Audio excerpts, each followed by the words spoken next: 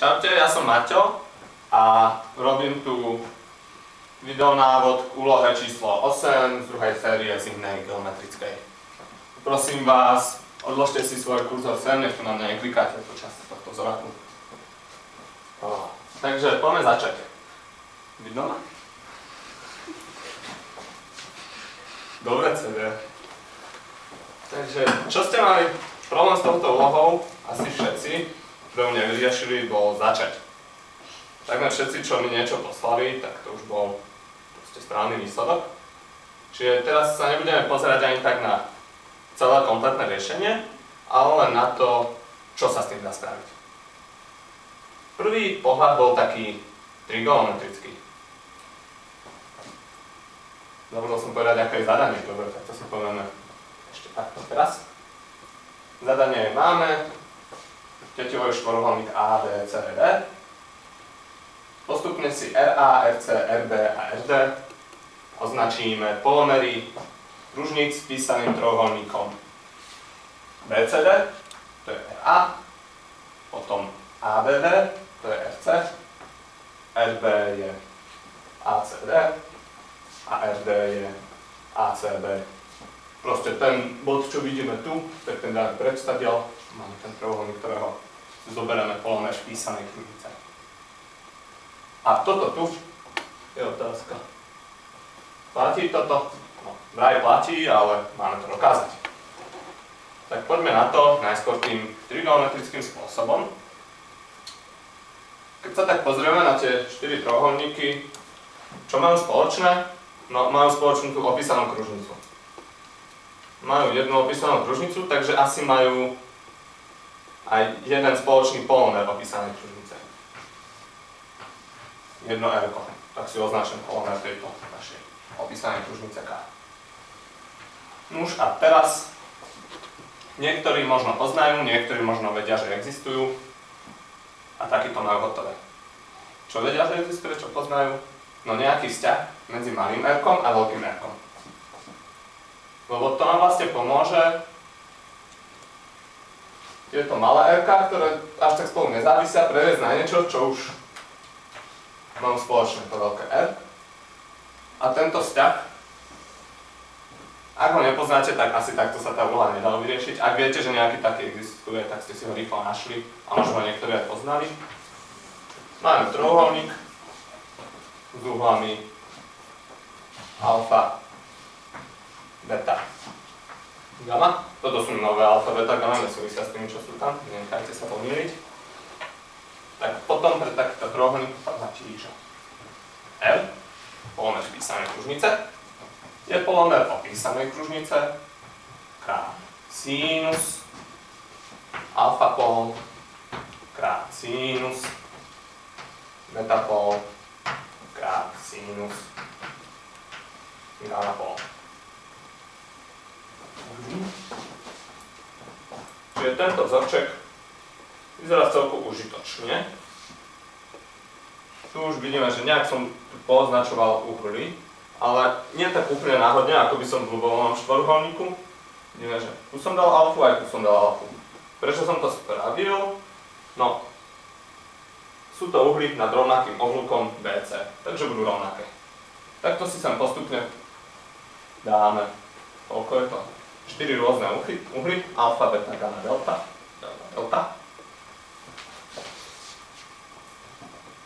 A pustíme sa do riešenia.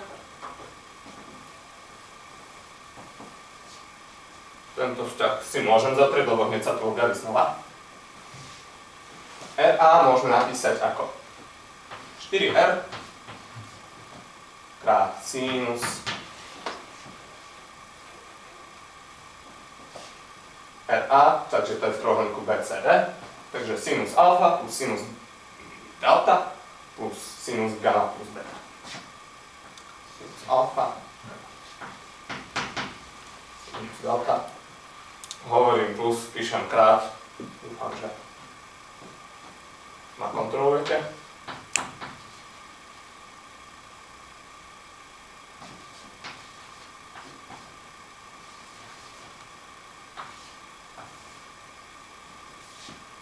Čiže toto je to naše RA.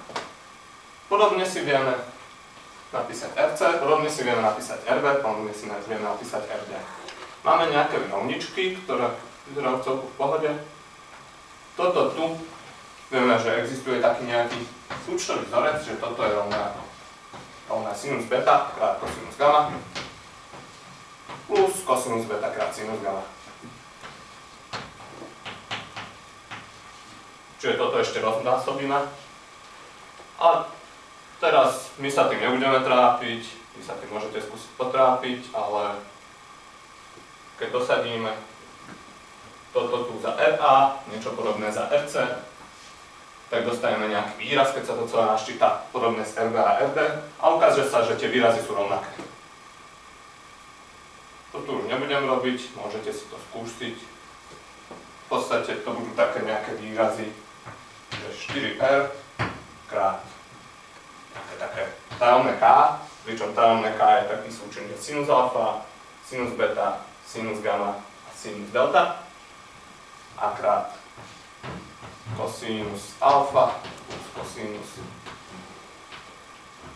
beta plus cosinus gamma plus cosinus delta.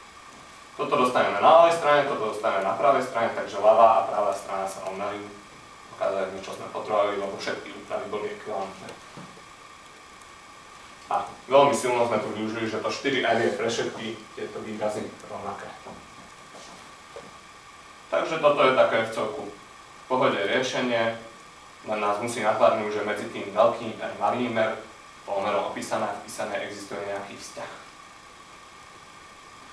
Dobre? Takže to je jedno riešenie a teraz sa poďme pozrieť na to,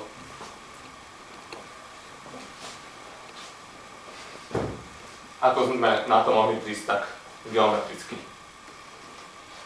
Je dobré si narysovať obrázok, ja som ho nerysoval teraz, ale doma som si ho narysoval. Neveríte, tak sa ma spýtajte. A ABCD je, je ten náš štvorholník a postupne IA, IB, IC, ide. Si označili stredy vpísaných kružníc. Tie sú asi dôležité v tejto úlohe, keďže sa rozprávame o polomeroch. A teraz všímavé oko, keď si to pekne narysujeme, si všimne, že tento ten náš útvar sa až moc nápadne podobá na obružník. To spravíme. Asi sme to mali šťastie, skúsime narysovať znova. Zasa to vyzerá ako obružník. Ešte urobíme jeden pokus. Zasa. To už nám musí byť tej podozrivé. Už po tom prvé raze nám to malo podozrivé, ale radšej si to odskúšajme. Nie, že budeme dokazovať niečo, čo neplatí. Tak to znie ako v celku užitočná vec, že to je obružník, to sa nám zišlo. No, tak teraz rôzne pohľady, ako by sa to dalo dokázať. Poviem, naznačím len také cesty, ak chcete, môžete si to vyskúšať sami. Myslím, že keď už niekto našiel cestu, tak už nemal problém to doťuknúť, doraziť. Takže jeden taký spôsob celkové častých riešeniach, asi z troch bol, bol taký, že A, B, I, D, IC je tetivoj štvorholník. Prečo? Skúste vymyslieť. Nie je to niečo moc náročné, nejak sa pohráme s obvodovými uhlami a ešte vieme, že tieto, ktoré ležia na osiach uhlov, to je celku dôležité, že sú toto osy uhlov. Proste všade sú tam osy uhlov, čiže keď si vpisujeme dosť veľa priamo do toho, to nejak malo vypadnúť. A potom v týchto teťových štvorholníkoch tento uhol vieme vyjadriť nejak pomocou tohto. Tento uhol vieme vyjadriť nejak pomocou ktorého? Pomocou tohto. Presnejšie toto je 180 minus tento, toto je 180 minus tento. A keď už tam skúsime podpisovať tie uhly a niečo aj s obvodovými straníme, tak sa ukáže, že tieto dva uhly nám dávajú dokopy 270 stupňov, takže tento uhol pravý. A to všetko môžeme spraviť aj na tých zvyšných častiach. A ukážeme, že je to pravouholník. Ďalší taký možný spôsob No mačkaj. Teraz budem musieť kresliť trošku názor, nie? Správame si... Správame si os uhla. C, tá určite idúce pod ide. Os uhla. Toto bola os uhla BCA, tá ide cez ide. A teraz os uhla ADB, tá pôjde cez IC. A keď si to narysujeme pekne presne, tak div sa, nediv sa, to stretne v jednom bode. Div sa, nediv sa. No niektorým z vás je to už možno aj známe toto, že to tak vždy dopadne. Prečo to tak je? No, tieto uhly alfa, alfa sú rovnaké, čo vlastne hovorí o bodový uhol, že tieto oblúky majú rovnakú dĺžku. Takže tento bod je stredovlúka. A rovnako aj tuto. Máme betu, betu, to osuha. Takže znova, tieto oblúky sú rovnaké, čiže aj toto sa nám pretne presne v strede oblúka. Čiže keď si sem dáme stred oblúka, tak je to presne bod. Dobre, tak skôr než budeme pokračovať, tak myslím, že nemáte už na správnom mieste kurzor, tak to prosím opravte, ďakujem. Takže čo sme ukázali, že tieto osy uhlov sa v strede oblúka. Zasa treba použiť oči,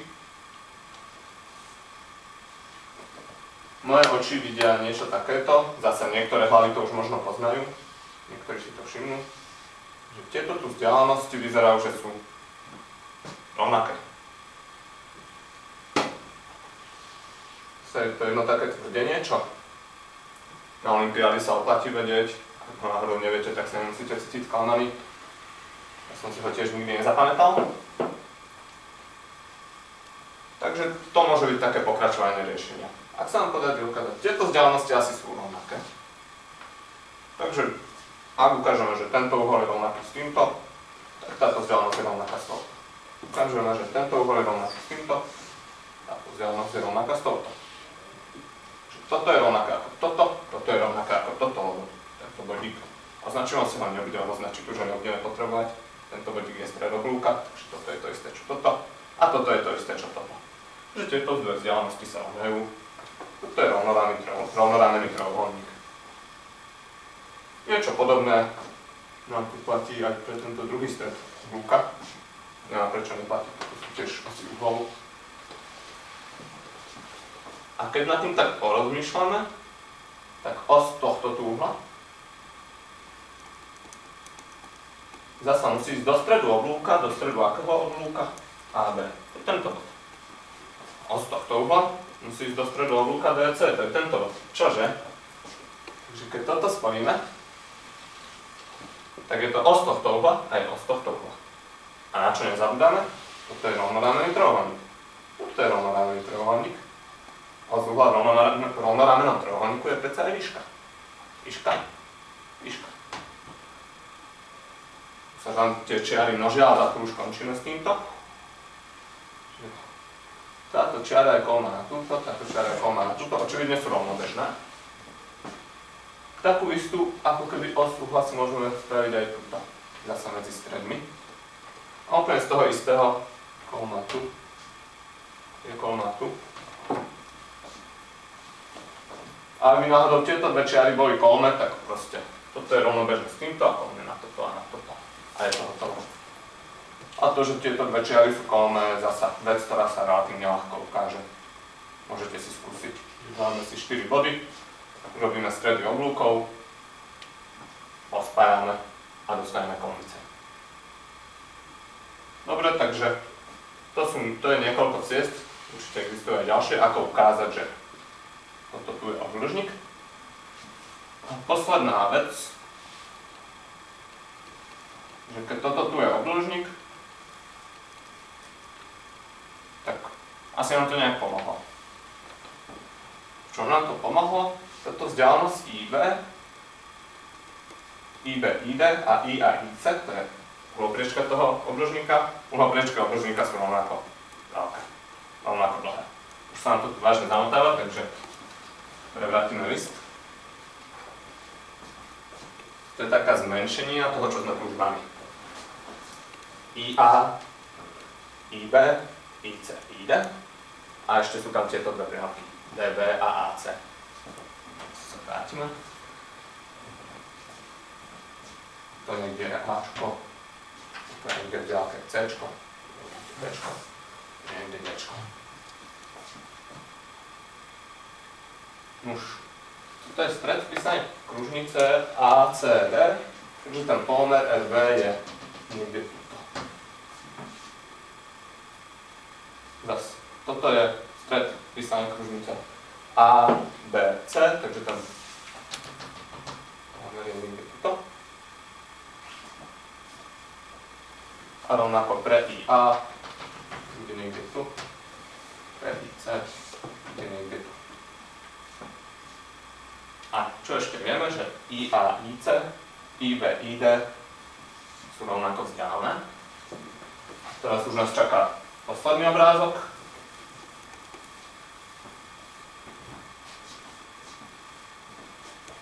Manat Ečko.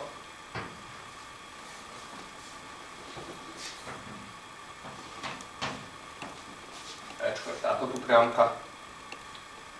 Imamo nečo splošna IBA IDA. IDA. IBA.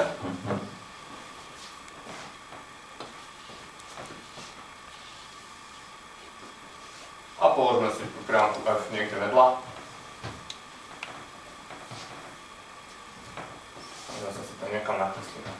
IC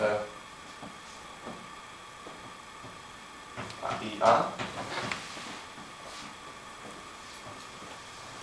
A vieme, že tieto priamky IC, IA a IB, ID sú rovnako dlhé.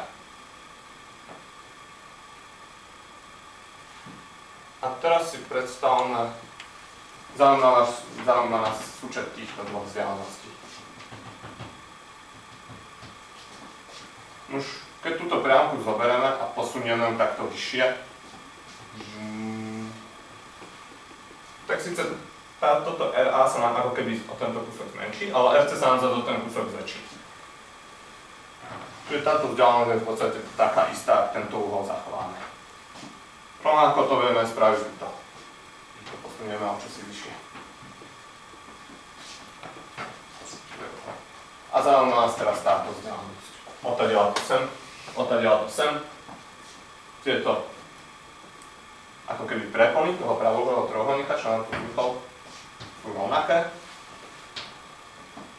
A chceme dokázať, že táto odvesná je rovnako dlhá tu ako tu. Čo platí kedy? No predsa vtedy, keď tento uhol je ten istý, čo tu. Pozrieme sa späť. Tento uhol je ten istý, čo tuto. Posledná vec, ktorú treba dokázať. A zasa už s tými všetkými uhlami a vecami, čo sme zistili, už to nie je taký veľký problém porátať. Zasa vec, čo si môžete skúsiť. Takže úloha sa dá riešiť dvoma takými základnými rôznymi spôsobmi. Jeden bol trigonometrický, že tie polomery si nejak vyjadríme pomocou polomeru opísané kružnice. A druhý spôsob bol taký na dva kroky. Najskôr ukážeme, že tieto body I, A, I, B, I, C, I, D, stredy vpísaných kružníc tvorí algoležník a potom pomocou toho a ešte aj pomocou tých vecí spredtým nejak ukážeme, že to už nám stačí. Potom už tieto vzdialenosti upravať rovnaký súčet ako tieto. Takže ďakujem za pozornosť. Vidíme sa na Mužice.